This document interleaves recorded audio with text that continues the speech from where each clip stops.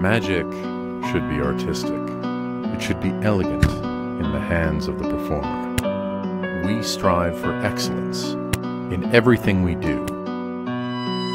Why stop now?